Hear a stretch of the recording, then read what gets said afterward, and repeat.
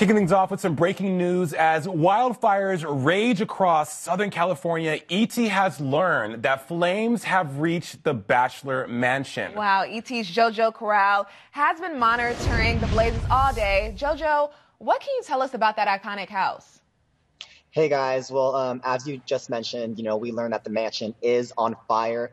There's no other details at the moment. We did see that the creator of the Bachelor franchise, Mike Fleiss, tweeted this morning that he was scared that the flames would reach the mansion, and it's it's so unfortunate that it's true. I've seen the house um, before, and it's definitely right in the middle of uh, Malibu, so it's just very unfortunate. So, do we know if they were in the middle of production? Was anyone at the house? Was it a hot set?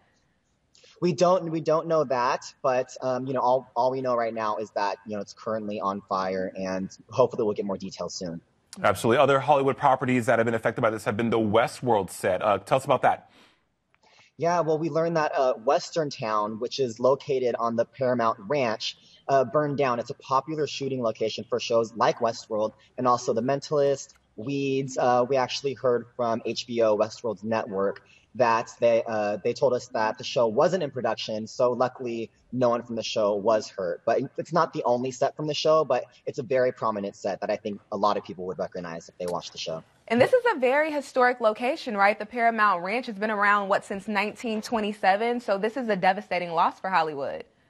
It is. It is. Lots of films, lots of shows. Definitely a devastating loss. Um, star Evan Rachel Wood had tweeted this morning, um, "This is eerie. So sad for the history loss. Amazed the church is still standing.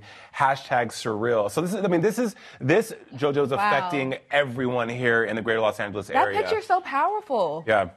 It is. yeah, when you look at that photo, it's, it's, extremely eerie. And she talks about the church being untouched, and you know, this, you see the photo of her on set, and it's just, uh, it's just tragic.